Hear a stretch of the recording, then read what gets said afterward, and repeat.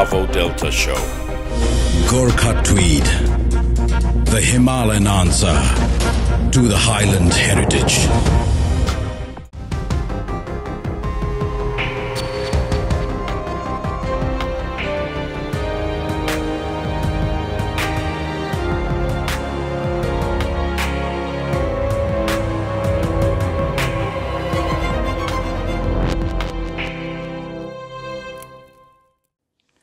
दर्शक वृन्द नमस्ते। देशसँग नागरिकको साइनो जोड्ने सेतुका रूपमा रहेको नागरिकता हरेक नागरिकका लागि अहम विषय हो। पाउनु पर्नेलाई वञ्चित गर्ने न नपाउनु पर्नेले सौदाबाजी गरेर जब नागरिकता पाउन थाल्छन् तब सोच्नुहोस् देशको अस्तित्व ढिलो चाँडो सङ्कटको डिलमा पुग्दैछ। नेपाल नागरिकता पहिलो संशोधन विधेयक दुई हजार उनासी बहुमतले पारित भएको घोषणा गर्दछु। लामो समयको रस्साकसी पश्चात सङ्घीय संसदले बहुमतबाट पारित गर्दै प्रमाणीकरणका लागि राष्ट्रपति समक्ष पठाएको नागरिकता सम्बन्धी विधेयक फिर्ता भएको छ। नागरिकता आफैमा संवेदनशील विषय हो। यसलाई भोटसँग सौदाबाजी गर्न खोज्नु आफैमा विडम्बना युक्त छ। अङ्गीकृत नागरिकताबाट आउनुहुने बुहारीलाई हामीले परिचय कार्ड दिएर सहजता बनाऊ तर नागरिकता दिने विषयमा चाहिँ सोच्न जरुरी छ। अङ्गीकृतका सन्तानहरूलाई नागरिकता दिने बारेका प्रावधानमा सत्तारूढ गठबन्धनकै नेकपा माओवादी केन्द्र र एकीकृत समाजवादी पूर्ण सहमत थिएनन्। सत्तारूढ दलहरू समेत सहमत नभएको र प्रतिपक्षीले विरोध गरिरहेको विद्यमान अवस्थालाई मध्यनजर गर्दै राष्ट्रपति कार्यालयका तर्फबाट केही सुझाव सहित यसलाई सङ्घीय संसदमै फिर्ता पठाइएको छ। यसबाट प्रतिपक्षी एमाले खुसी देखिएको छ भने सत्तारूढ गठबन्धन भने रुष्ट। चुनावको मुखमा नागरिकता सम्बन्धी विवाद समाधान गरेको जस लिँदै चुनावमा फाइदा हुने आङ्कलन सत्तारूढ गठबन्धनलाई रहेको छ भने राष्ट्रपतिले फिर्ता गरेपछि आफ्नो पक्षमा जनमत सृजना हुने एमालेको अपेक्षा। आज मात्रै होइन हामीले दुई हजार छयालिस सालदेखि नै विभिन्न बहानामा नागरिकता जस्तो संवेदनशील विषयलाई भोट र राजनीतिसँग सौदाबाजी गर्दै ल्याएका छौँ। त्यसरी नागरिकतामाथि सौदाबाजी गर्ने श्रृङ्खलाको उत्कर्ष चाहिँ दुई हजार त्रिसठीको अर्को परिवर्तनपछि भएको मानिएको छ। तत्कालीन समयमा मधेसमा उत्पन्न भएको समस्या समाधान गर्ने नाममा त्यो बेला एकैपटक राजनीतिक निर्णयका आधारमा चालिस लाख बढीलाई नागरिकता वितरण गरिएको आरोप लाग्ने गरेको छ। यद्यपि कति नागरिकता त्यो बेला वितरण गरियो त्यो मध्ये पाउनै पर्नेहरूले कति पाए र सौदाबाजीका रूपमा नपाउनु पर्नेहरूले कति पाए त्यसको यकिन तथ्याङ्क सार्वजनिक गरिएकै छैन। त्यो विधेयक प्रतिनिधि सभामा फिर्ता पठाउने निर्णय भएकोले नेपाल अब फिर्ता पठाइएको विधेयकमा राष्ट्रपतिले अभिव्यक्त गरेको अभिभावकीय चासो सम्बोधन हुन्छ वा जस्ताको त्यस्तै पठाउने धृष्टता गरिन्छ। वास्तवमा नागरिकता बहुमत र अल्पमतको विषय पक्कै होइन। यो संवेदनशील विषय भएकोले यसमा राष्ट्रिय सहमतिको समेत आवश्यकता पर्ला। हाम्रो भौगोलिक अवस्थिति र भू राजनीतिका दृष्टिकोणले हामी निकै संवेदनशील ठाउँमा छौँ र हामीले नागरिकता प्राप्ति सम्बन्धीका प्रावधान तय गर्दा सोही संवेदनशीलतालाई मध्यनजर गर्नुपर्ने हो। तर देशका राजनीतिक दलहरूले कहिले पनि यो संवेदनशीलतालाई बुझ्ने कोसिस गरेको देखिँदैन। देशभित्रका नागरिक जसले नागरिकता पाउनुपर्ने थियो उनीहरूले के कति कारणले नागरिकता पाउनबाट वञ्चित गरिए र नपाउनु पर्नेहरूले सामूहिक रूपमा कसरी पाए यसतर्फ सचेत नागरिकहरूले नसोच्ने हो भने हामी भोलि आफ्नै देशभित्र आफ्नो अस्तित्व जोगाउन नसक्ने अवस्थामा नपुगौला भन्न सकिँदैन। सधैँ बल्झिरहने नागरिकताको यो घाउ साँच्चीकै समस्या हो या देशलाई दूरगामी असर पुर्याउने गरी देशको भविष्यमाथि खेलबाड गरिँदैछ। विवादमा रहेको नागरिकता विधेयक र अन्य समग्र विषयमा कुराकानी गर्न आज हामीसँग हुनुहुन्छ सरकारका कानुन मन्त्री गोविन्द शर्मा बन्दी।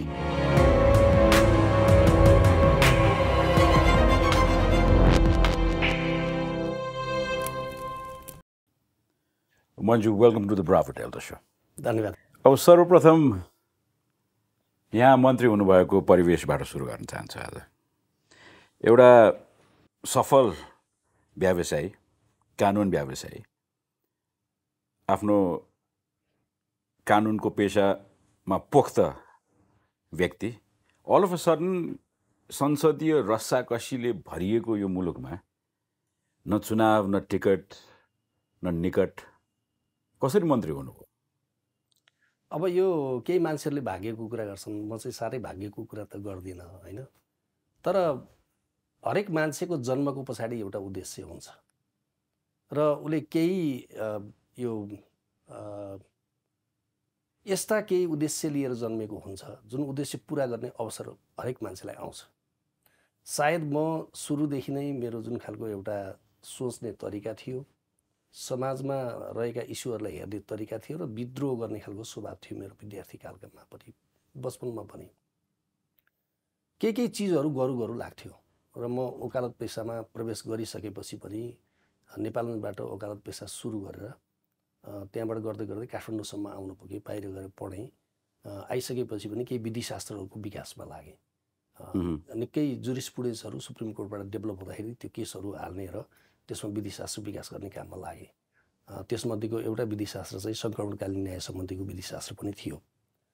जसले गर्दा नेपालको शान्ति प्रक्रियालाई एक खालको गाइड गर्ने काम गरेको थियो कि पिस प्रोसेसमा ट्रान्जिसनल जस्टिसलाई कसरी लानुपर्छ भन्ने बारेमा सुप्रिम कोर्टको इन्टरभेन्सन भएको थियो। जसले गर्दा सुप्रिम कोर्टको भनाइअनुसारको कानुन नहुँदा यो प्रक्रिया अगाडि बढ्न नसकिरहेको।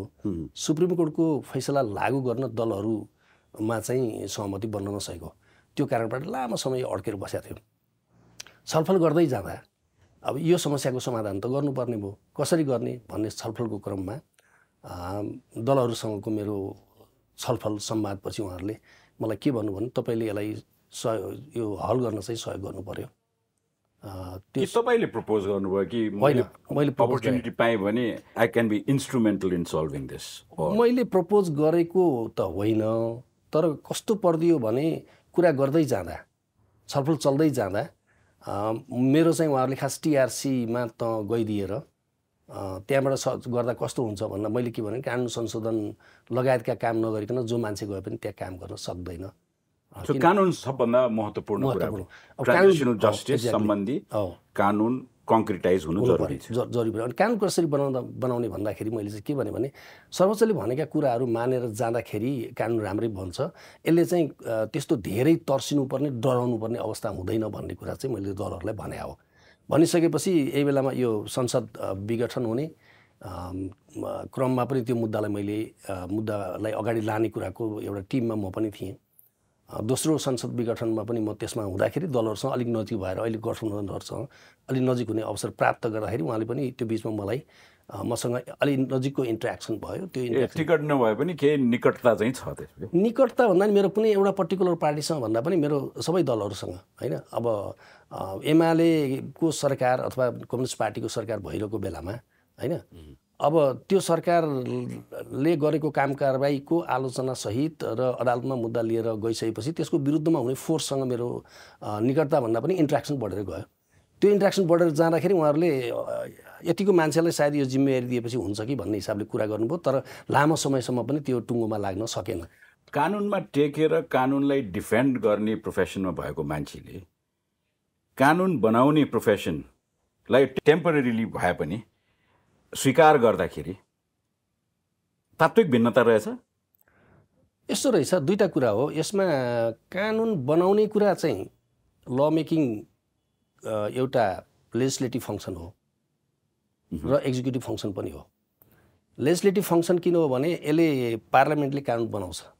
तर त्यो कानुन बनाउनलाई एक्जिक्युटिभले पहल गर्नुपर्ने हुन्छ। कतिपय यस्ता कानुनहरू छ प्राइभेट बिलबाट पनि जान सक्छ नजाने होइन तर गभर्मेन्टले नै लानुपर्ने केही कानुनहरू हुन्छन् जस्तो यो सत्यनिर्वहन तथा मेलमिलाप आयोग सम्बन्धी ऐन छ। यो चाहिँ सरकारले नै लानुपर्ने कानुन हो। अब हिजो म चाहिँ त्यो कानुन बनाउने भन्दा पनि कानुन अनुसार कानुन ठिक छ कि छैन कानुन संविधानसँग मिलेको छ कि छैन लको एउटा कन्स्टिट्युट कन्स्टिट्युसनालिटी टेस्ट गर्ने ठाउँमा बसेर एउटा एउटा भनौँ न जनताको भने पनि भयो अथवा पक्षको पक्षको। पक्षको भनौँ होइन? पक्षको तर्फबाट त्यसलाई हेर्ने काम गर्थेँ भने आज म आएको भूमिकामा चाहिँ त्यो कानुनबाट प्रभावित हुने सबै पक्षहरूको त्यो कानुनले कस्तो प्रभाव पार्छ भनेर हेर्ने ठाउँमा आएको छु। मलाई लाग्छ भिन्नता त्यति हो। एउटा म एउटा साँगुरो पाराले हेर्थेँ होला एउटा पक्षको तर्फबाट। अहिले त्यो कानुन बनाउँदाखेरि एउटा मात्रै पक्षको सम्पूर्ण हितभन्दा पनि त्यो कुनै पनि पक्षको अधिकार खास गरी यसमा चाहिँ सिकर जस्टिस सिकर। जस्टिस सिकरको राइट डिनायल नहुने गरी उसको जस्टिस सिक गर्ने राइट डिनायल नहुने गरी र उसले न्याय प्राप्त गर्ने उसको अधिकारलाई सुनिश्चितता गर्दै अरू त्यसबाट प्रभावित हुने पक्षहरूले पनि त्यो कानुनको कार्यान्वयनमा कम्फोर्टेबली पार्टिसिपेट गर्ने हिसाबले कानुन बनाउने ठाउँमा अथवा विषयलाई समात्न पुगेको छ। अब यो सङ्क्रमणकालीन न्यायको जुन कानुनको एउटा अडचन थियो नि त्यसलाई फुकाउने प्रक्रियामा तपाईँ जसरी होमिनुभयो वा त्यसको लिड लिनुभयो भनौँ। पोलिटिकली त केक वाकै जस्तो देखिएको थियो तर स्टेक होल्डर्स त्यसलाई किताकाट गर्ने हो भने पीडक र पीडित भनेर धेरै सुनिन्छ जनबोली अनुसार। अब यो त्यहाँ गएर फेरि फसेको जस्तो देखिन्छ। तपाईँको अनुभवमा यो पीडक र पीडितमा यो किताकाट भएर यसलाई हेरिनु जरुरी छ कि अहिलेको सरकारले लिएको इनिसिएटिभलाई आत्मसात गर्दाखेरि चाहिँ नि यो ट्रान्जिसनल जस्टिसको टुङ्गोमा पुग्न अथवा एउटा अन्तर्राष्ट्रिय रूपमा पनि नेपालको छवि ट्रान्जिसनल जस्टिसका लागि चाहिँ एकदम प्रोएक्टिभ मुलुक हो नेपाल भन्ने छवि स्थापित गर्नलाई हामी सफल हुन्थ्यौँ। अब सबभन्दा पहिला हामीले अहिले कहाँ पुगेर रोकिएको छ अथवा यसमा कसको इन्ट्रेस्ट के छ भन्ने कुरा चर्चा गर्नुभन्दा पहिला आफैमा ट्रान्जिसनल जस्टिसको कन्सेप्ट के हो? यो कसरी क्वाइन भएर आयो? यो कसरी कन्सेप्चुअलाइज भयो? ओभरअल संसारमा जति पनि पोस्ट कन्फ्लिक्ट सिचुएसनहरू छन् त्यहाँ चाहिँ ट्रान्जिसनल जस्टिसको मेजरहरू कसरी लागू गरिए र त्यसबाट लेसनहरू के लर्न गऱ्यौँ हामीले होइन? र त्यसबाट इन्टरनेसनल ल कसरी डेभलप भएर गयो भन्ने कुराको पृष्ठभूमिमा चाहिँ नेपालको प्रोसेसलाई पनि हेर्नुपर्छ भन्ने लाग्छ। यद्यपि संसारभरि ट्रान्जिसनल जस्टिसको एउटै मोडल छैन। जस्तो उदाहरणको लागि साउथ अफ्रिका हेऱ्यौँ भने उहाँहरूले के गर्नुभयो भन्दाखेरि त्यति बेलाको अपार्थाइट रिजिम भन्छ त्यसलाई होइन? अब त्यो अपार्थाइट रिजिमले गरेका अन्याय अत्याचारहरूमा अन्याय अत्याचार गर्ने मान्छेहरूलाई मानव अधिकारको उल्लङ्घन गर्ने व्यक्तिहरूलाई यदि उनीहरूले सत्य कुरा बोले आएर आयोग समक्ष भने उनीहरूलाई क्षमादान दिने। गए। हो एमनेस्टीमा कन्डिसनल एमनेस्टीमा गए। त्यो के भन्दाखेरि you tell us the truth होइन विल पार्डन यु भन्ने लाइनमा उहाँहरू जानुभयो। जसलाई चाहिँ अन्तर्राष्ट्रिय कानुनले स्वीकार्न सके सक्दैन। अन्तर्राष्ट्रिय कानुनको सिद्धान्त अनुसार त्यसरी एमनेस्टी दिने कुरा गम्भीर अपराधहरूमा अन्तर्राष्ट्रिय कानुनलाई स्वीकार्य हुँदैन। तर एक्सेप्टेबल भयो फेरि होइन? लोकल्ली एक्सेप्टेबल भयो। त्यो त्यहाँको सबै पोलिटिकल पार्टीहरूले त्यसलाई एग्री गरे स्टेक होल्डरहरूले एग्री गरे इन्टरनेसनल लले त्यसलाई इजाजत नदिँदा नदिँदै पनि त्यो चाहिँ एक खालको सफल भएको भनियो। हाम्रो कन्टेक्स्टमा चाहिँ नि मन्जु के फरक छ? अहिले एकैछिन एक्ज्याक्टली म त्यहाँ आउँछु। मैले बिचमा हजुरलाई रोकेँ। म त्यहाँ आउँछु। त्यहाँ त्यसरी गरियो। तर सिरालियनमा आउँदाखेरि त्यसो गरिएन फेरि। सिरालियनमा आउँदाखेरि के गरियो भने होइन। एमनेस्टी चाहिँ हुन्छ ट्रान्जिसनल जस्टिसमा तर एमनेस्टी भनेको सिरियस क्राइममा चाहिँ हुँदैन। गम्भीर प्रकृतिका मानव अधिकारका उल्लङ्घनहरू वा अन्तर्राष्ट्रिय अपराधमा एमनेस्टी हुन सक्दैन भन्ने कुरा त्यहाँ गरियो। इस्ट टिमोरमा पनि त्यही भनियो। र लाइबेरियादेखि लिएर क्याम्बोडियादेखि लिएर होइन कोलम्बियासम्म पुग्दा विभिन्न कन्टेक्स्टहरूलाई हामी हेऱ्यौँ वा बोस्निया को कुरा गरौँ या रुवान्डाको कुरा गरौँ वा युगोस्लाभियाको कुरा गरौँ। हेर्दा के भयो भने त्यो सबै केसहरूलाई राखेर हेर्दाखेरि पछिल्लो समयमा डेभलप भएको ट्रान्जिसनल जस्टिसका चारवटा पिलरहरू भन्छौँ हामी। ट्रुथ जस्टिस रेपरेसन र इन्स्टिट्युसनल रिफर्म। सत्य। सत्य किनभने जुन कन्टेक्स्टमा त्यहाँ हिजो द्वन्द्व भएको थियो त्यो वास्तवमा द्वन्द्व किन भयो? द्वन्द्व हुनुपर्ने कारण के थियो? ठिक छ द्वन्द्व भयो कारण थियो। त्यो द्वन्द्वमा मानव अधिकारको उल्लङ्घन किन भयो त? किन त्यसमा द्वन्द्वमा असंलग्न व्यक्तिहरूका अधिकारहरू छिनिए? अथवा उनीहरूलाई किन पीडा दिइयो भन्ने कारणहरू पत्ता लगाउनु पऱ्यो? अनि त्यस्तो द्वन्द्वको बेलामा भएका मानव अधिकारका उल्लङ्घनका घटनाहरूको प्याटर्न के थियो? ती सिस्टमेटिक थिए कि? ती वाइड स्प्रेड थिए कि? व्यापक रूपमा गरिएको थियो कि? आइसोलेटेड केसका रूपमा गरिएको थियो? भन्ने कुराको यकिन गर्ने। अनि त्यसपछि तेस्रो त्यसमा त्यो तथ्यहरू स्थापित गरिसकेपछि पहिला यो ट्रुथ सिकिङको प्रोसेस भएपछि यसलाई सत्यको पाटो भयो जसलाई चाहिँ अधिकांश कन्ट्रीहरूमा ट्रुथ कमिसनले गर्ने गर्छ। त्यो ट्रुथ कमिसनले अनि रिकमेन्डेसन गर्छ के भन्दाखेरि यो यो कारणले द्वन्द्व भएको थियो त्यस कारण अब भोलि द्वन्द्व भयो भने यो कुराहरू चाहिँ हुन हुँदैन जस्तो हामीसँग कस्तो सेना चाहिन्छ कस्तो प्रहरी चाहिन्छ। हामीसँग कस्तो स्टेट इन्स्टिट्युसनहरू चाहिन्छ कस्तो कन्स्टिट्युसन चाहिन्छ र कस्ता राइटहरू पिपलको इन्स्योर गरिनुपर्छ र कोर्टमा रिफर्म गरेर कस्तो खालको जस्टिस सिस्टम चाहिन्छ भन्ने कुराको त्यो रिकमेन्डेसन टिआरसीले गरिसकेपछि अनि कस्तो ल चाहिन्छ द्वन्द्वमा भएको मानव अधिकारलाई डिल गर्न कस्तो खालको कानुन चाहिन्छ कस्तो खालको संरचना चाहिन्छ भन्ने उसको सिफारिसको आधारमा कानुनमा संशोधन गर्ने संविधान निर्माण गर्ने होइन? र गम्भीर अपराधको सम- मा संलग्न व्यक्तिहरूलाई कानुनको दायरामा ल्याउने पीडितलाई न्याय दिने पीडितलाई परिपूरण दिने र भोलि यस्तो घटनाहरू नगोस् नघटोस् भनेर संस्थागत सुधार। एमनेस्टीको अंश पनि छ। छ। त्यसै आम माफीको आम आम होइन माफी। माफीको माफी। एक्ज्याक्टली अब कहाँनिर कुरा आउँछ न्यायको कुरा गर्दाखेरि त्यही भएर मैले यो चारवटा जुन पिलरको कुरा गरेँ एमनेस्टी लेस सिरियस क्राइममा चाहिँ एमनेस्टी हुन्छ एक। अर्को कुरा युद्धको क्रममा हुने स्वाभाविक हत्याहरू जुन दो दोहोरो भिडन्तमा मान्छेहरू मर्ला। दुई पक्ष लड्दाखेरि त्यहाँ चाहिँ सेना मरे पनि प्रहरी मरे पनि वा चाहिँ यतातिर लडा। लडाकुहरू विद्रोहीहरू मरे पनि। त्यो चाहिँ वास्तवमा के छ भने खास त्यो ट्रुथ कमिसनको विषय बन्दैन। किनभने त्यस्तो खालको हुने चिजहरू। बन्दैन. एक्ज्याक्टली तर वारको सिचुएसनमा तर कस्तो कुराहरू चाहिँ न्यायको विषय बन्छ भने घरमा सुतिरहेको मान्छे छ। ऊ युद्धमा भाग लिइरहेको मान्छे होइन। त्यस्तो मान्छेहरूलाई उठाएर नियन्त्रणमा लिएर त्यस्तो किसिमले हत्या गरियो भने त्यो चाहिँ केमा पर्छ भन्दाखेरि सिरियस क्राइममा पर्छ। त्यसै गरी टर्चर गरियो कसैलाई लगाएर। सेभियर बडीली हार्म र पेन हुने गरी टर्चर गरियो भने त्यो फेरि के छ भने नन एमनेस्टेबल क्राइममा पर्छ।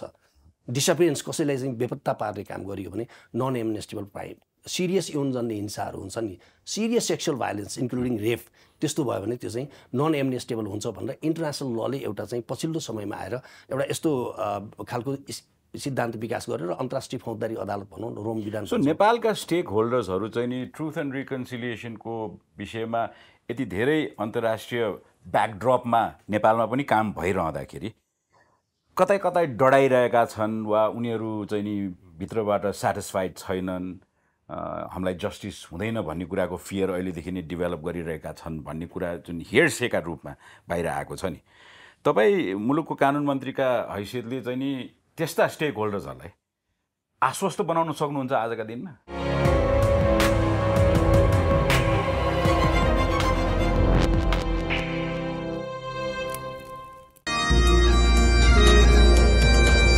The magical warmth of the highlands is now recreated in the Himalayas, the patterned art comes alive and thrives with a tremendous sense of color and texture.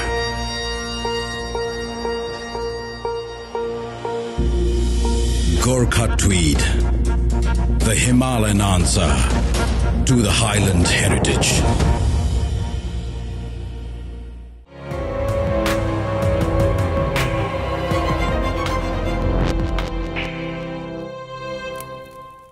Justice हुँदैन भन्ने कुराको फियर अहिलेदेखि नै डेभलप गरिरहेका छन् भन्ने कुरा जुन हेर्सेका रूपमा बाहिर आएको छ नि।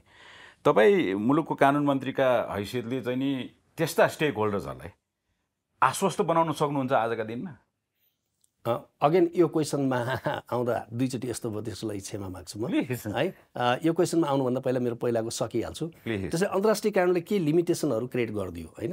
त्यो लिमिटेसनहरू क्रिएट गरिदियो र त्यो लिमिटेसनभित्र रहेर नै ट्रान्जिसनल जस्टिस प्रोसेसलाई लानुपर्छ। तिमी क्षमादान त दिन सक्छौ तर लेस सिरियस क्राइममा मात्रै होइन?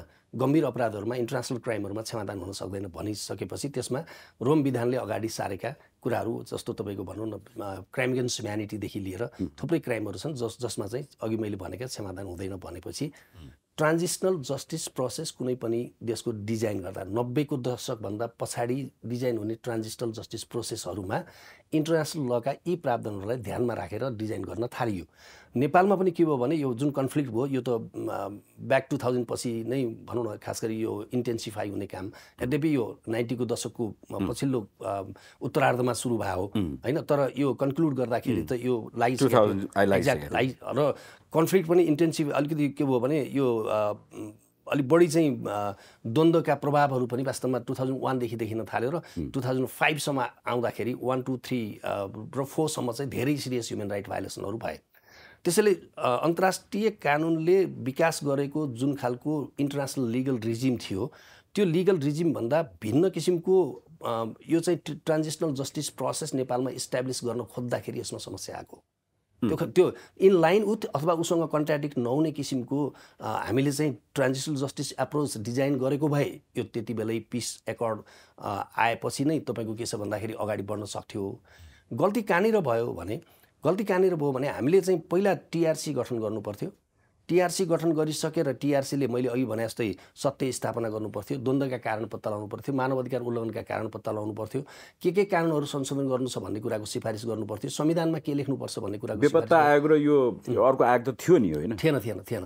त्यही भन्दैछु एक्ज्याक्टली थिएन। त्यही भन्दैछु। त्यो इमिडिएटली पिस जसरी हामीले सेना समायोजनको काम र संविधान निर्माणको कामलाई लग्यौँ नि सेना समायोजनको काम हुनुको साथसाथमै टिआरसीको काम हुनु पर्थ्यो र इभन टिआरसीले सेना समायोजनको मोडेलमा पनि रिकमेन्डेसन के गर्न सक्नु पर्थ्यो भने नेपालको सेक्युरिटी फोर्समा के कुरामा चाहिँ यो चाहिँ रिफर्म गर्नुपर्छ?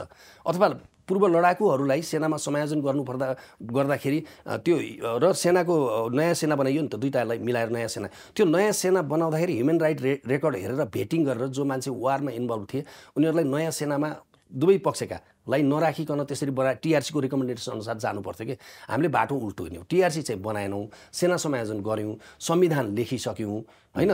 विभिन्न आयोगहरू क्रिएट गरिसक्यौँ महिला आयोग दलित आयोगदेखि लिएर। त्यो त टिआरसीको रिपोर्टपछि के के आयोगहरू चाहिन्थ्यो भन्ने आउँथ्यो होला नि त। त्यो चाहिँ ठ्याक्राकै उल्टो बाटोमा हामी गयौँ। त्यसले गर्दाखेरि के भइदियो भने टिआरसीलाई कसरी बुझियो नेपालमा? अब यहाँको म अघि सोधेको दुईवटा क्वेसन मध्येको पहिलो क्वेसनबाट स्टार्ट गर्छु। अब हामीले चाहिँ कसरी बुझ्यौँ ट्रान्जिसनल जस्टिस मेकानिजमलाई भने एउटा पक्षले चाहिँ यो यस यो नै क्लिन चिट दिने मेकानिजम हो। सबै चिज यसैले हेर्छ र सबै यसैले सक्छ। यहाँ कसैलाई पनि प्रोसिक्युसन गर्न हुँदैन। हिजो युद्धमा भएका कामहरू हुन्। प्रहरी र सेनाहरू पनि राज्यले खटाएर गएका हुन्। हिजो लडाकुहरू पनि वास्तवमा नेपालमा जनवाद ल्याउनको लागि एउटा परिवर्तनको लागि क्रान्तिका लागि लागेका हुन्। त्यसैले गर्दाखेरि यो चाहिँ यसमा भएका सानातिना मानव अधिकारका घटनाहरू यो स्वाभाविक हुन्छन्। यसमा चाहिँ उनीहरूलाई एउटा रिकन्सिलिएसनको माध्यमबाट यो समस्याको समाधान गर्नुपर्छ भन्ने एउटा न्यारेटिभ डेभलप गरियो। एमनेस्टीकै ब्ल्याङ्केट हो त्यो एउटा एमनेस्टी ओरिएन्टेड न्यारेटिभ डेभलप गरियो। यता जुन अन्तर्राष्ट्रिय रिजिम लिगल रिजिमले क्रिएट गरेको लिमिटेसन्सहरू थियो वा के अरे कन्डिसन्सहरू लिमिटेसन नभनौँ कन्डिसन्सहरू थियो त्यो क्रिएट गरेको कन्डिसनभन्दा बाहिर गएर टिआरसीलाई डिजाइन गर्दा वा त्यो न्यारेटिभभित्र टिआरसीलाई डिजाइन गर्दा चाहिँ त्यो यहाँको पीडित समुदायलाई अन्तर्राष्ट्रिय समुदायलाई र त्यसपछि यहाँको नागरिक समुदाय समुदायलाई त्यो एक्सेप्टेबल भएन। नभइसकेपछि के भने अन्डरस्ट्यान्डिङहरू फरक भयो। एक पक्षले कसरी सोच्दियो भन्दा यो द्वन्द्वमा भएका हरेक घटनाहरूमा प्रोसिक्युसन भएर जानुपर्छ। सिरियस केसहरू सबै प्रोसिक्युसन हुनुपर्छ।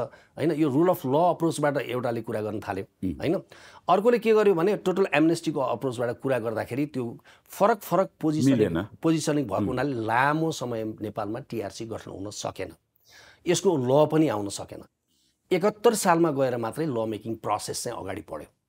एकहत्तर सालमा कानुन त आयो तर कस्तो कानुन आयो भन्दा एकहत्तर सालमा ल्याइएको कानुन टिआरसीलाई एउटा चाहिँ प्रहरी कार्यालय जस्तो अनुसन्धानको अधिकार दिने प्रोसिक्युटरको अफिसको जस्तो अभियोजन गर्ने अधिकार दिने सत्य नि निरूपण गर्नको लागि सत्य खोज्नको लागि पनि अधिकार दिने रिपेरेसनको लागि पनि सबै अधिकार त्यसैमा राखेर ल्याइयो।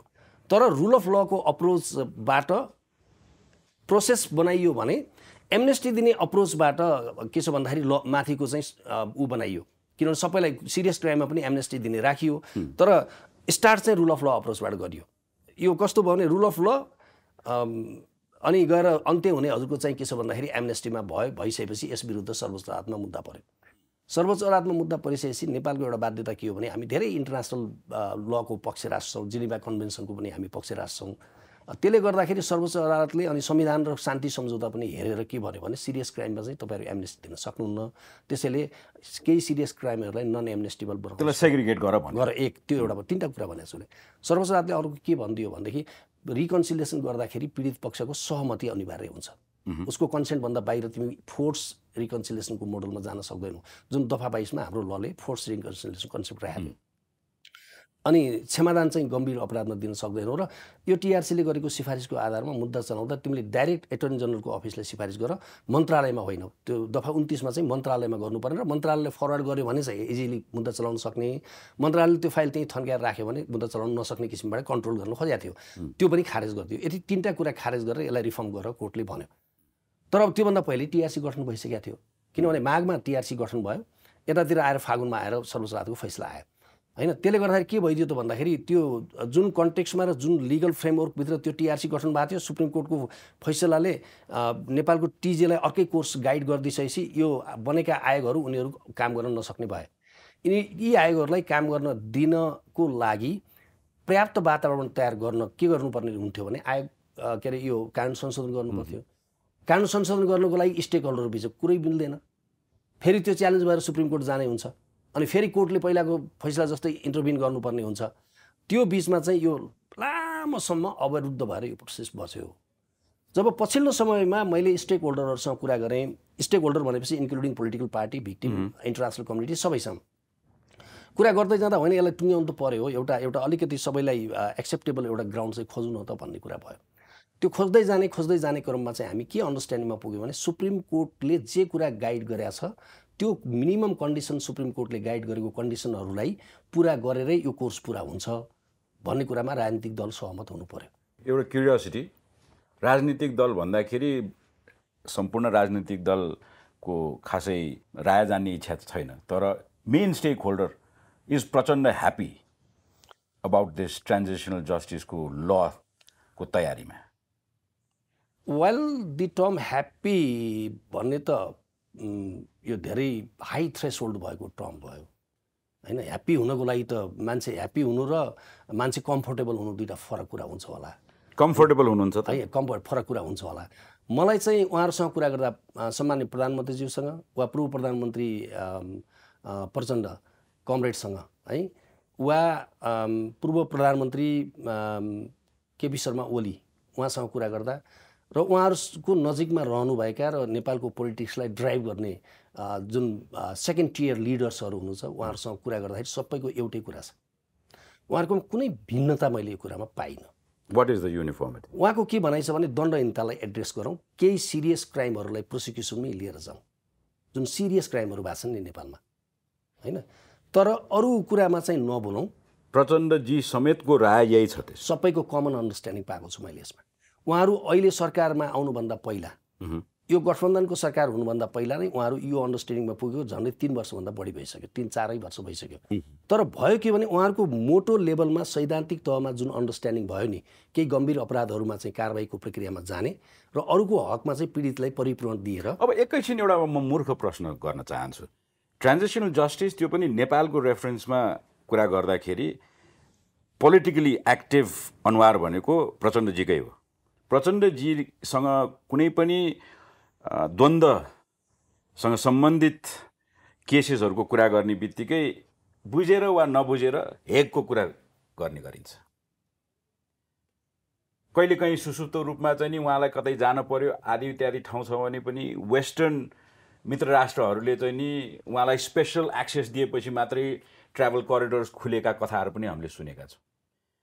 नेपालको द्वन्द्वकालीन न्यायलाई निरूपण गर्ने सिलसिलामा चाहिँ नि यो हेगसँगको सम्बन्ध एउटा मलाई बताइदिनुहोस् छोटकरीमा।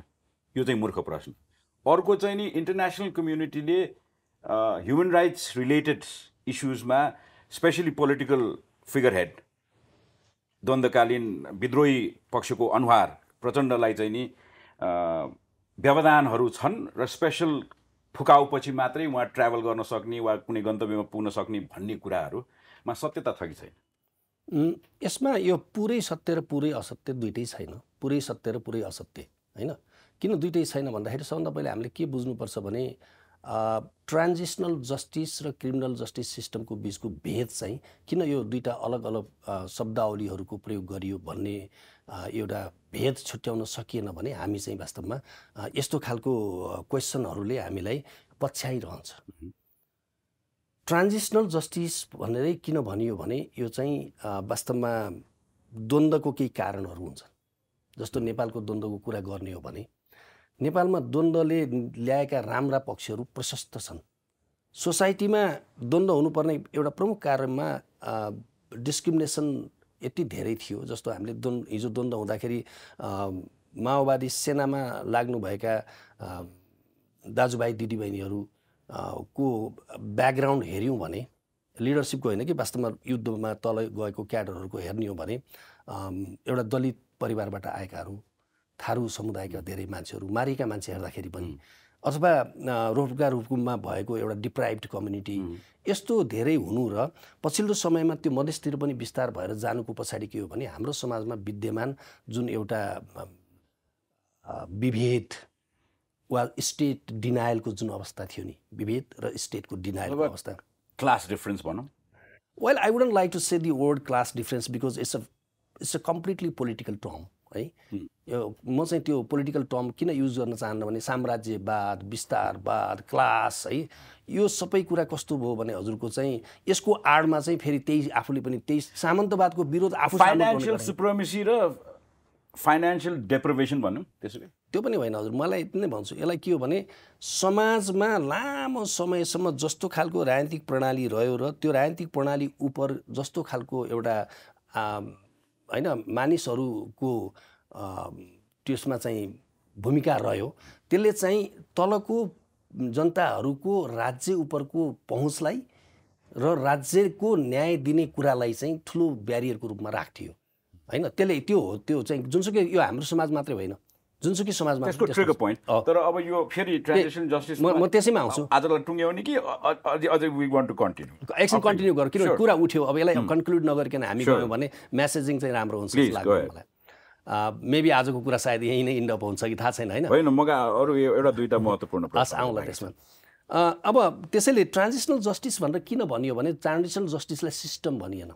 क्रिमिनल जस्टिसलाई सिस्टम भनियो ट्रान्जिसनल जस्टिसलाई प्रोसेस भनियो। हामीले संसारको जुनसुकै ठाउँमा हेऱ्यौँ भने यसलाई प्रोसेसको रूपमा लियो। प्रोसेस किन भनियो भने द्वन्द्वमा यस्तो घटनाहरू घट्नु स्वाभाविक हुन्छ भन्ने कुरा सबैले मानेर। घटना घट्छ। होइन? वारमा घटनाहरू तपाईँको के छ भन्दाखेरि यस्ता घटनाहरू संसारभरि घटेका छन् र नेपालमा पनि घटे।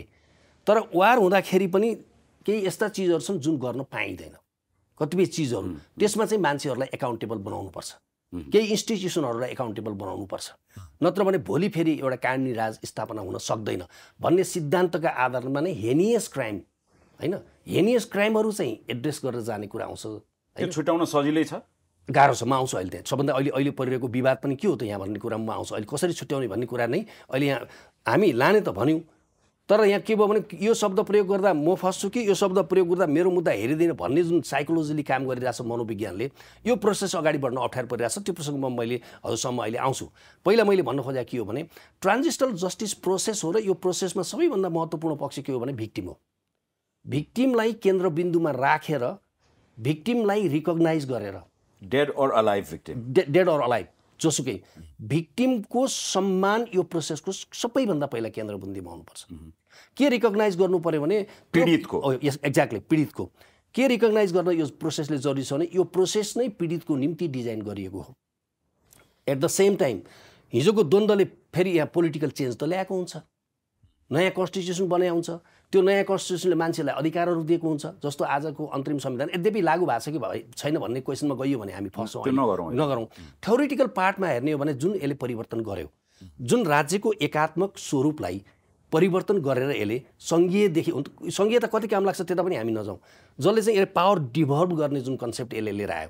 अथवा महिलाको अधिकारदेखि लिएर दलितको अधिकारदेखि लिएर थारू समुदायको अधिकारदेखि लिएर मधेसीको अधिकारदेखि लिएर जुन ग्रिभान्सेस भएको कम्युनिटीहरूलाई पनि स्टेटले डिनायलको अवस्थालाई अन्त्य गर्न जे चिज राख्यो नि त्यो त द्वन्द्वको त्यो द्वन्द्वको कन्ट्रिब्युसन त त्यसमा छ नि त। त्यो द्वन्द्व नभइदिएको भए हिजो त्यो युद्ध नभइदिएको भए त यो कुरा हुन सक्दैन थियो नि त्यही कुरालाई बुझेरै हामीले संविधानमा के लेख्यौँ भन्दा शहीदहरूको सम्मान गर्ने कुरा बेपत्ताको सम्मान गर्ने कुरा वा यो बिचमा ज्यान गुमाउनु पुग्नुभएका यता सेना वा प्रहरी सबैको चाहिँ के छ भन्दाखेरि होइन उहाँहरूको त ज्यान त गयो नि त। उहाँको ज्यानको कस्टमा आज आज हामी यो पोलिटिकल सिस्टम इन्जोय गरिरहेछौँ। ती मान्छेहरू चाहे जुनसुकै पक्ष होस् उहाँहरूको उहाँहरू बेपत्ता भएको कष्टमा आज यो पोलिटिकल सिस्टम र यो फ्रिडम अफ एक्सप्रेसन हजुर मैले इन् इन्जोय गरिरहेछौँ र बसेर हामी यसरी कुरा गरिरहेछौँ। भनेपछि उहाँहरूको यो कन्ट्रिब्युसनको चाहिँ सबभन्दा पहिला रिकगनाइज स्टेटले गर्नुपर्छ यो ट्रान्जिसनल जस्टिस प्रोसेसमा। यसमा दण्ड प्रधान मात्रै हुँदैन क्रिमिनल जस्टिसमा दण्ड प्रधान हुन्छ पीडित प्रधान हुँदैन। जाहेरवाला जाहेरी दिने मान्छेलाई थाहा पनि हुन्न कि उसको मुद्दा कसले लडिरहेछ कहाँ लडिरहेछ। सरकारी वकिलले कुनै जाहेरवालालाई नभेटेरै उसको मुद्दा सर्वोच्च पुग्छ टुङ्गिन्छ जाहेरवालालाई तिम्रो मुद्दामा यस्तो भयो पनि भनिया हुन्न। यद्यपि अहिले हामीले राख्यौँ संविधानमा पीडितको हक भनेर संविधानमा राख्यौँ तर त्योभन्दा पहिला थिएन। यही द्वन्द्वले गर्दा राखिएको थियो हक पनि। भने यहाँ त के गरिन्छ भने पीडितलाई केन्द्रबिन्दुमा राखेर यो प्रोसेस डिजाइन गर्नुपर्छ। हामी कहाँ बिग्रिया के हो भन्दाखेरि हामी दण्डको पीडितको समु पीडितको तर्फबाट नागरिक सम- समुदायको तर्फबाट पनि यो चाहिँ के गरियो भने रुल अफ ल अप्रोचबाट गएर गल्ती गर्नेलाई दण्ड भन्नेमा गइयो।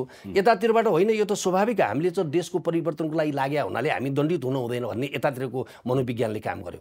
हो। यो दुइटै मनोविज्ञानहरूलाई एक ठाउँमा राखेर दण्डहीनता पनि अन एड्रेस गर्नुपर्छ हेनियस क्राइम पनि एड्रेस गर्नुपर्छ। पीडितको अरू कुरालाई सम्मान गर्दै भोलि यो नदोरिने कुराको सुनिश्चितता गर्दै उहाँहरूलाई पुगेको पीडा बापत परिपूर्ण प्रदान गर्नुपर्छ। र यतातिर सबैलाई कारवाही गरेर पोलिटिक्स नै सिद्ध्याउने भन्नुहुन्छ जुन मान्छेहरू एउटा चाहिँ परिवर्तन गरेर आएको छ यदि ऊ हिरिय हेनियस क्राइममा संलग्न छैन भने माओवादी मात्रै हुनु त अपराधी होइन होला नि त। नेकपा माओवादीले बोकेको सिद्धान्त बोक्नु मात्रै त अपराध हुनु होला नि त। त्यो मान्छेले हत्या गरे हुनुपर्छ होला नि त बलात्कार गरे हुनुपर्छ होला नि त। त्यसको भागीदार। या अर्डर गरे हुनुपर्छ होला नि त। होइन अहिले जुन कमरेड प्रचण्डको फेसको कुरा गर्नुभयो यहाँले होइन केवल नेकपा माओवादीको पार्टी अध्यक्ष भएको नाताले कारवाही पर्ने होइन होला नि त। होइन होला नि त। होइन जनताले फेरि के छ भने इलेक्सनबाट उहाँहरूलाई जिताएर ल्याएर राम्रो एउटा चाहिँ के छ भन्दाखेरि एउटा मिनिङफुल मात्र होइन significant presence in the parliamentary process. है त्यो राखिसकेको पनि अवस्थालाई हामी बिर्सन हुन्न होला नि त। त्यसैले हेनियस क्राइमहरू मलाई लाग्छ माओवादीले पनि यो चाहिँ के छ भन्दाखेरि सुतिरहेको मान्छेलाई गएर काट त भनेको छैन होला। रेप भन्या छ होला। होला एक्ज्याक्टली एकछिनलाई छ होला एक्ज्याक्ट ठिक हो। मैले करेक्ट गरेँ। छ वा छैन होला। त्यो त टिआरसीले इक्जाम गर्छ। गरेका छ कि छैन. जुन पोलिटिकल उहाँको डकुमेन्टमा देखिन्छ नि उहाँले त्यो भनेको छैन। होइन? पोलिटिकल डकुमेन्टहरू उहाँको हेर्ने हो भने होइन कस्तो देखिन्छ भने वारमा उहाँले इनेमी डिक्लेयर गरे मान्छेहरू उप एट्याकहरू छन्। होइन? तर इनेमी चाहिँ सिभिलियनले स्टेटतिरबाट पनि छ। छ। होइन म एउटा होइन। एउटा कुरा गर्दैछु अहिले। एउटा उहाँको सकाउन अब उहाँले इनेमी डिक्लेयर गरे मान्छे सिभिलियनलाई इमिने इनेमी उहाँले डिक्लेयर गर्न मार्न पाउनुहुन्न। यो चाहिँ टिआरसीले हेर्नु पऱ्यो कि पहिला। सिभिलियनलाई इनेमी डिक्लेयर गरेर मार्न पाइँदैन कुनै पनि वारमा तर मिलिट्री चाहिँ कुनै इनेमी डिक्लेयर नगरे पनि मिलिट्री टार्गेट हुनसक्छ त्यसैले कुरा के सिभिलियन टार्गेट छ भने त्यो चाहिँ रिकन्सिलिएसनको पार्ट बन्दैन। सिभिलियन टार्गेट भयो भने द्याट गोज के छ भने त्यो ट्रायलको पार्ट बन्छ। यदि मिलिट्री टार्गेट हो र मिलिट्री टार्गेट चाहिँ वारमा स्वाभाविक मानिन्छ। होइन? स्वाभाविक मान्छ त्यही भएर हतियार नलिएको मान्छे अथवा युद्धमा संलग्न नभएको मान्छे मारिने कुरा चाहिँ प्रमुख सरकारको विषय हुन्छ भने ओभरअल ट्रान्जिसनल जस्टिसको कुरा हो। त्यसमा पनि सजायको हिसाबले हेर्दाखेरि हामीले म हजुरलाई दुईवटा घटनाको कुरा गर्छु। यता सेनाको पनि सेम है। सेनाले पनि रुल अफ ल कायम गर्नको Exactly, लागि exactly. रुल अफ ल कायम गर्न तिमी स्टेट दुइटैले दुइटै। दुइटैले चाहिँ गएर रेप गर भनेको छैन होला नि त। अथवा होला यदि रेप गरे रहेछ भनेदेखि त अकाउन्टेबल हुनु पऱ्यो नि त। होइन? हो त्यो कुराको छानबिन चाहिँ क्रिमिनल जस्टिस सिस्टमबाट सस- सम्भव हुँदैन। यो चाहिँ ट्रान्जिसनल जस्टिसको अप्रोचबाट त्यो कुराको पहिला छानबिन हुन्छ। त्यो कुराको छानबिन भएर यदि त्यस्तो देखियो भने यो यो केसमा देखियो यो केसलाई ट्रायलमा लिएर जाऊ भनेर उसले रिकमेन्ड गरेपछि अगाडि जाने कुरा हो। अब यो यो विधेयक चाहिँ नि जुन बेला पास होला यसको सेकेन्ड पार्ट यो ट्रान्जेक्सनल जस्टिसको चाहिँ नि अझै बाँकी थुप्रै च्याप्टर्सहरू छन् त्यसमा फेरि हामी विचार विमर्श गरौँला तर आजको कन्भर्सेसनमा जसरी सशस्त्र विद्रोहका कारण नेपालमा डाउन ट्रडन्सहरूको चाहिँ नि अपलिफ्टमेन्ट भयो एउटा इमान्सिपेसन भयो थुप्रै पोजिटिभ्सहरू पनि छन्। र कतिले त भन्छन् रैतीबाट जनता भए नागरिक भए। नागरिक हुनका लागि नागरिकताको प्रमाणपत्र चाहिन्छ। अहिले फेरि नेपाल त्यही नागरिक नागरिकता र त्यो प्रमाणपत्र त्यसलाई वितरण गर्ने भनेर पनि कता लेखिएको छ क्यारे त्यसबाट त्रसित पनि छन्।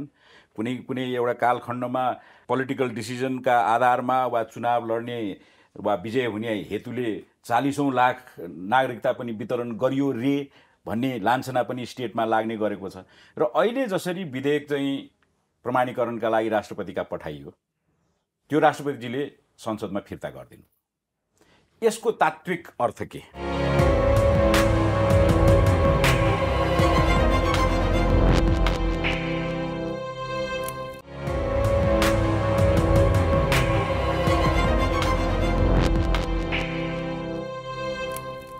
अहिले जसरी विधेयक चाहिँ प्रमाणीकरणका लागि राष्ट्रपतिका पठाइयो त्यो राष्ट्रपतिजीले संसदमा फिर्ता गरिदिनु। यसको तात्विक अर्थ के?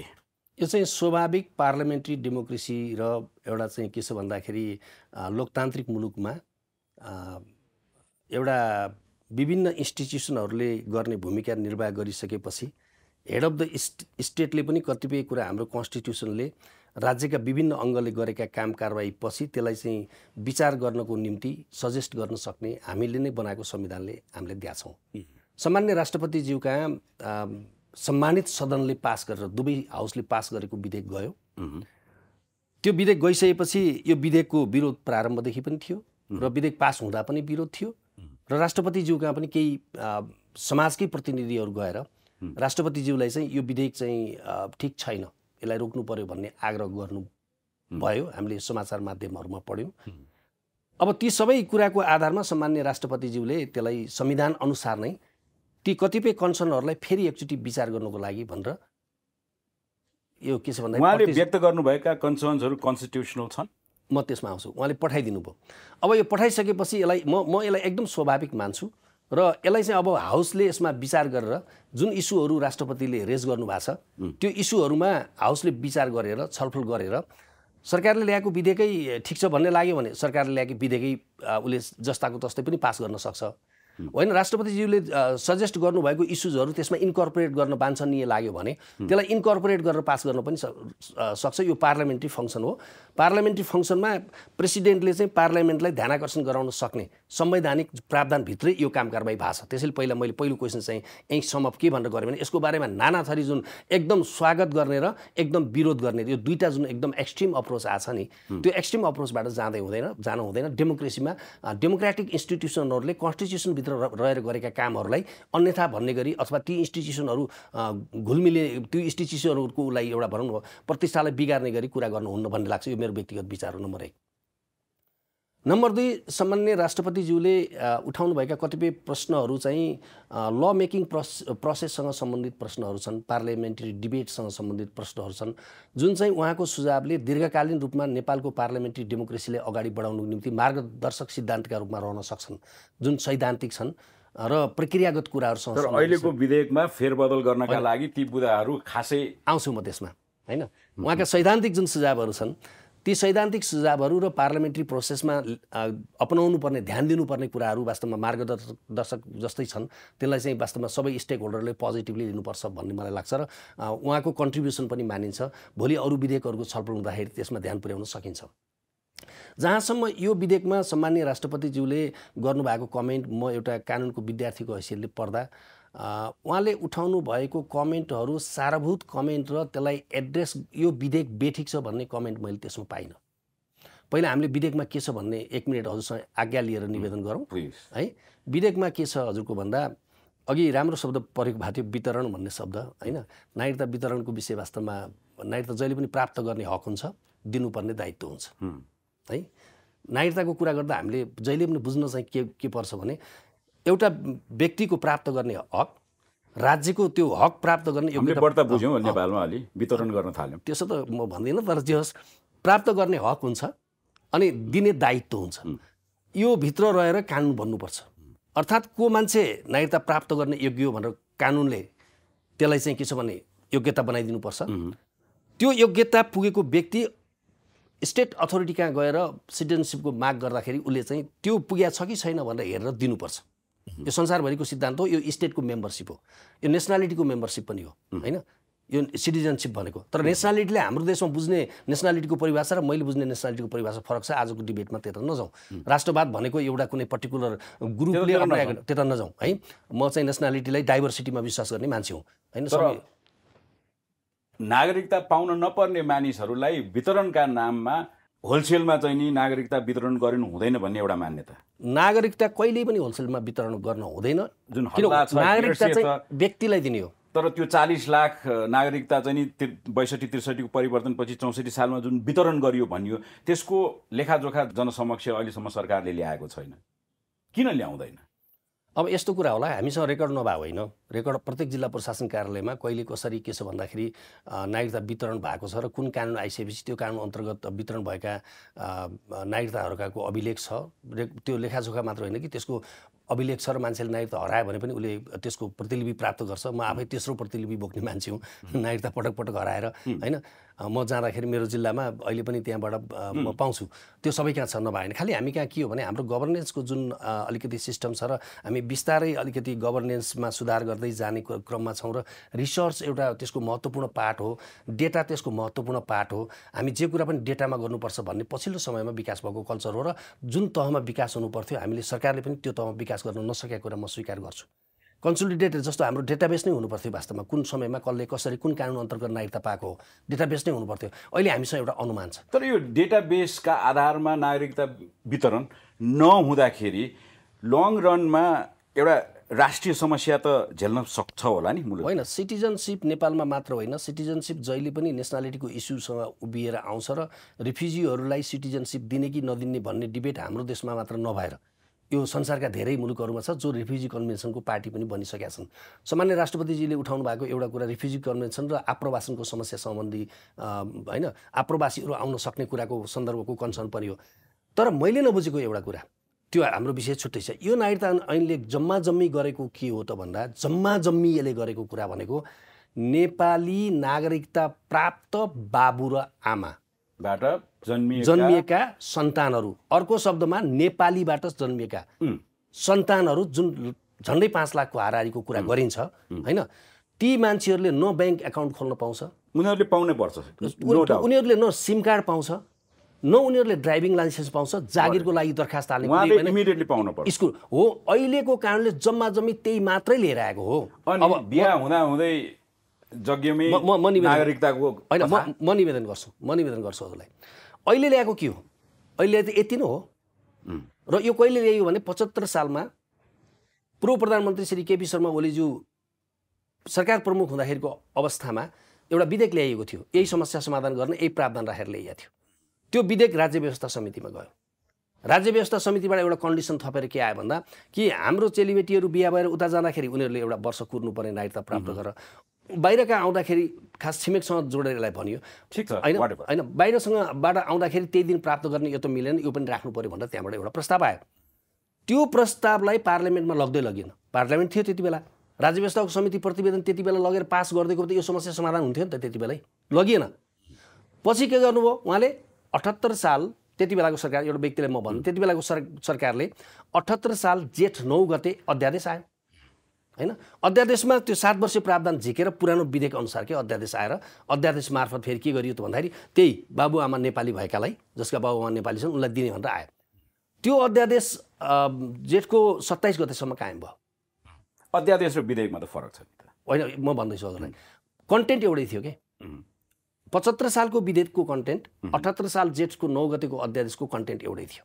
प्रोसेस फरक थियो त्यो विधेयकबाट पार्लियामेन्ट्री प्रोसेसबाट आउन चाहन्थ्यो। यो चाहिँ दिनै पर्ने भयो नि त मान्छेले पाएन नि त। होइन राम्रो गर्नुभयो उहाँले अध्यादेश ल्याएर। म प्रशंसा गर्छु गर्छु पूर्व प्रधानमन्त्री केपी शर्मा ओलीज्यूको। उहाँले राम्रै गर्नुभयो। त्यो अध्यादेश ल्याएर भए पनि मान्छेले नागरिकता दिनुभयो। तर सर्वोच्च अदालतले त्यसलाई के गरिदियो भन्दाखेरि स्टे अर्डर गर्यो। त्यसलाई पनि अन्यथा भन्नु मिल्दैन। किन मिल्दैन भने नागरिकता जस्तो गम्भीर विषय पार्लियामेन्ट्री प्रोसेसबाट डिस्कस गरेर मात्रै ल्याउनुहोस् है। कन्टेन्टमा बोले होइन सर्वोच्च अदालत। सर्वोच्च अदालतले प्रोसेसमा तपाईँ तपाईँ अध्यादेशबाट चाहिँ नदिनुहोस् है। किन भन्दा भोलि अध्यादेशबाट दियो संसदले पास गरिदिएन भने त नागरिकता प्राप्त गरेको मान्छे नागरिकता खोज्ने समस्या आउँछ नि त। त्यसैले के भन्यो भने यो प्रोसेस चाहिँ मिलेन भन्यो। अनि के भयो? अध्यादेश काम गर्न छोड्यो त्यो बिचमा केही मान्छेले नागरिकता पनि प्राप्त गर्नुभयो अध्यादेशबाट। किनभने त्यो त बाइस दिनसम्म त काम गर्यो नि त्यो त लेजिटिमेट नै छ नि लेजिमेट नै छ। पाएका- लेजिटिमेट नै छ। एक अब त्यसपछि पनि आउनु भन्नु अब त्यति बेला जेठ भन्दाखेरि त अहिले आउँदाखेरि यत्रो समय गइसक्यो। यत्रो समय गइसक्दाखेरि पनि यो अगाडि बढ्न सकेन। अब यो सरकारको बाध्यता के भयो भन्दाखेरि सबैलाई एक्सेप्टेबल प्रोभिजनहरू राखेर ल्याउँ है। विवाद भएको प्रोभिजन नल्याउँ। विवाद भएको हामीसँग फुर्सदमा छलफल गरेर लिएर आउँला।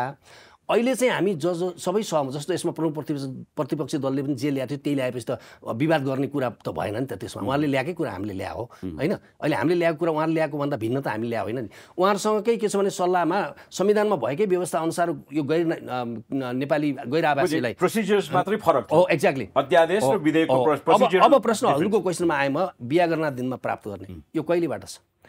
यो कहिले हामीसँग जब नागरिकताको कन्सेप्ट विकास भयो नि नागरिकताको कन्सेप्ट विकास हुँदादेखि नै बिहा गर्ने मान्छेले महिलाको हकमा खास नेपाली पुरुषसँग बिहा गर्ने विदेशी महिलाले सोही दिन नै नागरिकताको लागि उताको त्यागको प्रक्रिया चाल्नासाथ यता नागरिकता प्राप्त गर्ने व्यवस्था रहिआएको छ। अहिलेको विवादमा सामान्य राष्ट्रपतिजीले पनि प्रिसाइसली आफ्नो उसमा भन्न सक्नु भएको छैन। प्रिसाइसली यो भनेर भन्नु भन्न सक्नु भएको छैन। उहाँले ध्यान दिनुपर्ने कुराहरूमा एउटा ध्यान आकर्षण गराउनु भएको छ। तर त कानुन चाहिँ अधिकार दिनको लागि ल्याइएको कानुनमा अधिक पाइरहेको अधिकारलाई रोक्नको लागि ल्याउँदाखेरि र अधिकार दिँदाखेरिमा दुईवटा भिन्नता छ ल मेकिङ प्रोसेसमा अहिले हामीले अधिकार प्राप्त गरेका व्यक्तिहरूलाई अधिकार नबाट वञ्चित भएको हुनाले अधिकारको निम्ति यो ल्याएका हौँ। अधिकार पाइरहेको खाइपाएको सुविधा काट्ने कुरा जब आउँछ नि त्यसको निम्ति रिसर्च आवश्यक अनि डिबेट आवश्यक छ पब्लिक डिबेट आवश्यक होइन, तर अनि कन्सन्सेस आवश्यक छ। हामीले काफी जस्तो भन्नुहोस् न यही संविधानको यही लिगल फ्रेमवर्कभित्र बहत्तर सालमा संविधान आउँदा हामीले रोकेनौँ। एउटा हजुरलाई म महत्त्वपूर्ण गर्छ। त्यति बेलाको संविधान सभाले त्यो त्यो बहत्तर सालको संविधानमा नागरिकताको च्याप्टर लेख्दा यो रोक्न सक्थ्यो नि सात सात वर्ष कन्डिसन त्यहाँ राखिएन होइन? कन्स्टिट्युसनमा। अनि त्यसपछि आएर त्रिसठी सालमा त्योभन्दा पहिला यो जनआन्दोलनपछि त्रिसठी सालको ऐनले पनि त्यो पहिलाको पुरानो नागरिकता ऐनलाई नै कन्टिन्यू गर्यो। अनि बहत्तर सालको संविधान आइसकेपछि आजसम्म आइपुग्दा नागरिकता पाइरहे ती मान्छेहरूले रोकिएन। अबको सेम कन्स्टिट्युसनल फ्रेमवर्कभित्र हामीले अरूको अधिकार कटौती हुने गरी यदि नागरिकता ऐनमा अहिले विवादित बनाएर यस्तो खालको यो ट्रान्जेक्सन फेरि हाम्रो गभर्मेन्ट कस्तो छ भने यो त इलेक्सन गराउने यसको प्रमुख काम छ अब होइन? अब पार हामीले इलेक्सन डिक्लेयर पनि गरिसकेका छौँ। यस्तो अवस्थामा चाहिँ इमिडिएट मान्छेलाई रिलिफ दिनको लागि ल्याउने कानुनहरू जायज मानिन्छन्। अरू कानुनहरूमा पर्याप्त डिबेट र एक खालको नेसनल कन्सेन्सस चाहिन्छ। त्यसैले यसलाई चाहिँ छलफल गरौँला। यो बाटो बन्द गरेको छैन नि त यसले? ठिक छ। अब यो प्रोसेसलाई जीवितै छ प्रोसेस। यसलाई सम्मान गर्न सबैको कर्तव्य हो। यसले एउटा टुङ्गो लिइहाल्छ। राष्ट्रपतिजीले संसदलाई पठाउनु भएको जुन सुझाव सहितको चाहिँ नि फिर्ता छ विधेयक अब त्यो हुबहु जाला या फेरि चाहिँ डिस्कसनको आधारमा केही अमेन्डमेन्ट भएर जाला। अल्टिमेटली डज द राष्ट्रपति ह्याभ अ चोइस राष्ट्रपतिका कुनै अन्य उपाय छ प्रमाणीकरण गर्नु बाहेक? छैन त्यो त यस्तो छ। अब यदि पार्लियामेन्टले यदि है पार्लियामेन्टले के गर्छ म बोल्न सक्दिनँ यो पार्लियामेन्ट्री बिजनेस हो। यदि पार्लियामेन्टले पहिलाकै विधेयकलाई जस्ताको तस्तै पारित गरेको कानुन मन्त्री त हो नि। कानुन यस्तो छ कानुन संसदीय व्यवस्था मामिला मन्त्री पनि हो म। हो नि। तर के हो भने प्रोसेस भन्न सक्छु म। पार्लियामेन्टको अधिकार प्रयोग गरेर पार्लियामेन्टले यस्तो गर्छ भन्न मिल्दैन मैले। त्यो पनि कानुनकै विद्यार्थी कानुन मन्त्री पनि भएको नाताले। यसो तर त पोलिटिकल मुखसुगाइ त भएको होला नि। होइन यस्तो छ। पोलिटिकल मुखसुगाइको अहिले एक घन्टामा एउटा छ अर्को घन्टामा अर्को होला होइन। तर मैले देखेको के हो भने नि त्यो हजुरले पनि बुझाएको छ मैले पनि बुझाएको छ। प्रश्न कहाँनिर हो भने जब हामी कुराकानी गर्छौँ हामी आफ्नो दायरा बुझ्नुपर्छ। सबरिन पार्लियामेन्टको जुरिस्डिक्सनको विषयमा मैले चाहिँ त्यो सरकारको विषय होइन अहिले। यो यो पार्लियामेन्टको प्रपर्टी हो यो बिल। पार्लियामेन्टको प्रपर्टी हो। त्यसैले यो पार्लियामेन्टको प्रपर्टी उसले आफ्नो प्रपर्टीमा के गर्छ त्यही पार्लियामेन्टले गर्छ। यो सोभरेन पार्लियामेन्ट भनिसकेपछि आज जाँदा जाँदै एउटा एउटा प्रश्न तर छोटकरीमा मात्रै जवाब चाहन्छु। यो सोभरेन पार्लियामेन्टभित्र अर्को एउटा स्टेटली बडी न्यायालयको प्रमुख प्रधान न्यायाधीशको इम्पिचमेन्ट अथवा चाहिँ नि महाअभियोग विचाराधीन छ कि दर्ता मात्रै भएर प्रवेश भएको छ कि त्यसले एउटा नेसनल लिम्बो खडा गरेको छ। यसमा चाहिँ नि संसदीय व्यवस्था मन्त्री कानुन मन्त्रीका हिसाबले यो महाअभियोग लगाएर यतिकै छोडेर निलम्बन गरेर उहाँलाई नेचुरल रिटायरमेन्ट दिन ठिक हो कि यदि उहाँप्रति भएका आरोपहरू प्रमाणित गरेर उहाँलाई सजायको भागीदार बनाउनलाई चाहिँ यो महाअभियोग ल्याइनु पर्छ वा ल्याइएको हो? पहिलो कुरा त हामीले संविधानको धारा एक सय एक अन्तर्गतको महाभियोग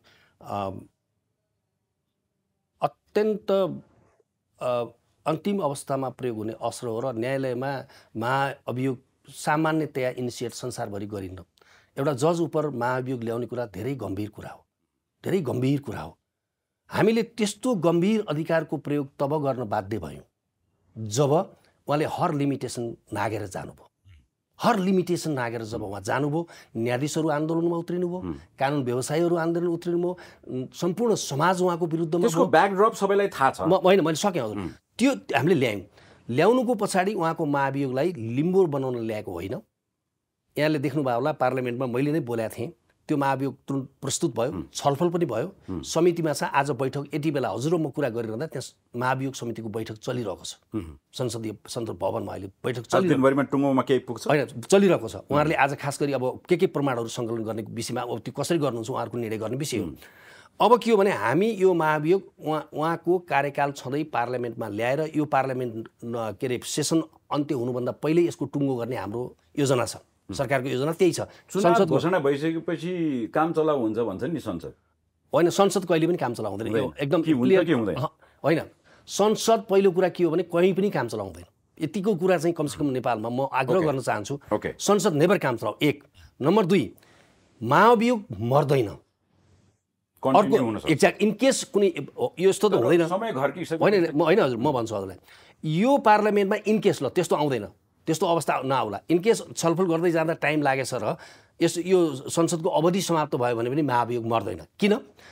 संविधानको धारा एक सय एकको छले के भनिदियो भने महाअभियोगको टुङ्गो नलागेसम्म।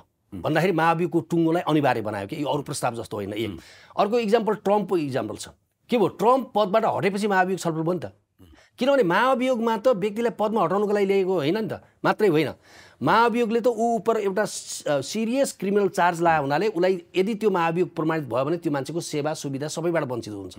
भने ट्रम्पको कार्यकाल सकिसकेपछि महाभियोग अमेरिकन सेनेटले किन डिस्कस गर्यो भन्दाखेरि त्यही त आर्गुमेन्ट आयो कि यो अरू प्रस्ताव जान्छ महाभियोग जाँदैन। होइन अरू प्रस्ताव चाहिँ सम्बन्धित व्यक्ति मरेपछि अपराध मर्छ भनिन्छ नि। होइन तर महाभियोग चाहिँ मर्दैन। किन भन्दाखेरि उसको चाहिँ पाउने सुविधाहरू ऊ जारी रहने हुनाले उसको सुविधा त फेरि ट्रान्सफर भएर अरूमा पनि जान्छ। त्यो सुविधा पाउने नपाउने कुराको पनि निर्णय गर्नुपर्ने भयो हुनाले यदि कथमको जात यो अधिवेशनभित्र सकिएन भने पनि नयाँ बन्ने संसदले अहिलेको निलम्बित प्रधान न्यायाधीश श्री चोलेन्द्र शमशेर राणाको महाभियोगको बारेमा छलफल गर्छ र त्यसले चाहिँ उहाँले वास्तवमा भ्रष्टाचार जन्ने कार्य गरेको नगरेको पनि हेर्छ। यो सबै कुरा हेरेर टुङ्गो लाग्छ। यो कुरा हाम्रो संविधानमा प्रश्न छ अन्तर्राष्ट्रिय अभ्यास। संसदको आयु कहिलेसम्म छ? यो संसदको आयु संविधानको धारा पचासीको हिसाबले अर्को संसदको ले निर्वाचन गरेर शपथ गर्न न- नगर्दासम्म। यो संविधानको धारा पचासीको व्याख्या है। यो मेरो व्याख्या होइन। पचास किनभने पचास कुनै व्याख्या पनि छ? होइन म म भन्दै जान्छु। छ यहाँ त यो समस्या हामी धेरै कुरा त हामीले मिलाउनै बाँकी छ नि। समस्या भएको कुरालाई स्वीकार्न राम्रो हुन्छ कि? धारा पचासीले हजुरको पाँच वर्ष भनिदियो। पाँच वर्ष नपुग्यो यो यो जुन दिन आयो नि आयो कहिले भन्दाखेरि शपथ ग्रहण गरेको मितिले कार्यकाल सुरु हुन्छ भन्दै छ फेरि। अनि सुविधाहरू यो प्रतिनिधि सभा र तपाईँको पाउने सुविधा कहिलेदेखि लागू भयो भने उहाँहरूले फागुन बिस गते शपथ ग्रहण गरेको दिनदेखि लागू भयो हुने भयो भनेपछि त्यहाँबाट चाहिँ त्यहाँसम्म यसको अवधि रहने भयो र त्यसपछि अर्को पार्लियामेन्टले टेक ओभर गर्ने हो। संविधान मूल कानुन हो यही व्याख्या हो। अब अर्को कुरा के भइदियो भन्दाखेरि हाम्रो प्रतिनिधि सभा नियमावलीमा यसमा व्यवस्था छैन। राष्ट्रिय सभा नियमावलीमा के गर्यो भने शपथ ग्रहण सम्बन्धी व्यवस्था राखिदियो। शपथ ग्रहण गरेको दिनबाट लागू हुने भन्यो। भनेपछि यो संसद रहन्छ। प्रश्न कहाँनिर कहाँनिर मात्रै हो भने संसदका केही सांसदहरूले नोमिनेसन गरेपछि उहाँको पद जान्छ। होइन? नोमिनेसन गरेपछि पद जाने एउटा अन्डरस्ट्यान्डिङ छ। निर्वाचन आयोगले विज्ञप्ति निकालेर पनि भन्या हुनाले फेरि एउटा कुरा के हुन्छ भने कन्स्टिट्युसनको इन्टरप्रिटेसन सबभन्दा पहिला त रेलिभेन्ट अथोरिटीले पनि गर्छ र अन्तिममा त्यसको इन्टरप्रिटेसन ठिक हो कि होइन भनेर कोर्टले टेस्ट गर्ने सिस्टम हो हाम्रो। भन्दा उहाँहरूले के भन्नुभएको छ भन्दाखेरि यो नोमिनेसन गरेको दिन दिनसम्म चाहिँ यो कायम रहन्छ भनेको यसले बिजनेस चाहिँ नोमिनेसन पछि गर्नु हुँदैन भन्ने हो भन्ने लाग्छ मलाई। संसद कायम रहन्छ किनभने बिजनेस निर्वाचन गइसकेपछि केही सांसद चाहिँ कन्स्टिट्युसनल इस्युजहरू होला। सभामुखले नै चुनाव लड्ने विचार गर्नुभयो भने उहाँले पनि उहाँले जानु resign गर्नुपर्ने Exactly. हुन्छ। अँ, अँ, जान ए, सो त ए, सो त स्वतः जाने भन्दै छ। होइन त्यसैले त्यो पनि प्रष्टै संविधानमा भन्दै हुनाले एकानब्बे छ। अलिकति अलिकति कन्फ्युजन चाहिँ छ। कन्फ्युजन छ तर केमा कन्फ्युजन छैन भने यो प्रतिनिधि सभा चाहिँ अर्को प्रतिनिधि सभा नआउँदासम्म पाँच वर्ष लिमिटेड रहन्छ। इफ आई मे आक्स मधुज्यू टर्म कति बाँकी छ? मेरो? मेरो एक महिना तेइस दिन बाँकी छ हजुरसँग कुरा गर्दा। अनि भ्याइन्छ? सजिलै भ्याइन्छ किन सजिलै बेसिकली होइन भ्याइन्छ। किन भ्याइन्छ भन्दाखेरि अब हामी अब पार्लियामेन्टमा हामीले विधेयक लगिसकेका छौँ टिआरसीसँग सम्बन्धित त्यो टेबल हुन्छ। हामी त्यहाँ छलफल गर्छौँ। यसमा सबै पार्टीहरू सकारात्मक हुनुहुन्छ। मिलाउँ भन्ने कुरा छ। यसमा के को पीडितहरूले र केही सरकारवालाले उठाएको एक महिना कति दिन भन्नुभयो तेइस दिन। त्यसपछि के नोमिनेसन भर्न जाने? कि होइन। व्यवसायमा फर्किने? व्यवसायमा फर्किने। कि कुनै अर्को प्रावधान छ फेरि कुनै धारा छ तपाईँलाई कन्टिन्युटी होइन यस्तो छ त्यस्तो धारा अहिले केही पनि छैन। म के या म चुनावमा जानु पऱ्यो या अर्को पार्लियामेन्ट आएपछि आउनु पऱ्यो तर कुरा के हुन्छ भने म चाहिँ एउटा लिगल फ्रेमवर्क तयार गरिदिएर इन्स्टिट्युसन प्लेस त्यो टिआरसी गठनसम्मको प्रक्रिया सकेर जाउँ भनेरै मैले त्यो सुरुकै दिनमा पनि मैले त्यही भनेको थिएँ। त्यसपछि यो प्रोसेस एटोमेटिक टिआरसीबाट अगाडि बढ्दै जान्छ। गाडी गुडिसकेपछि त्यो बाटो तयार भएपछि त्यो गन्तव्यमा पुग्न गाह्रो हुँदैन होइन? पहिला गाडीमा तेल हालेर त्यसलाई राखिदिनु पऱ्यो ड्राइभर दिएर। हो त्यति काम गरेर जाने मेरो योजना चाहिँ म पुरा गर्छु जस्तो लाग्छ। तपाईँको योजना पुरा होस् र यसले मुलुक र मुलुकवासीले तपाईँले कोसिस गर्नुभएका यी प्रयासहरूले चाहिँ एउटा उज्यालो भविष्यमा पदार्पण गर्ने एउटा बाटो खुलोस्। यहाँको समय र विचारका लागि आजको लागि धेरै धेरै धन्यवाद। धन्यवाद।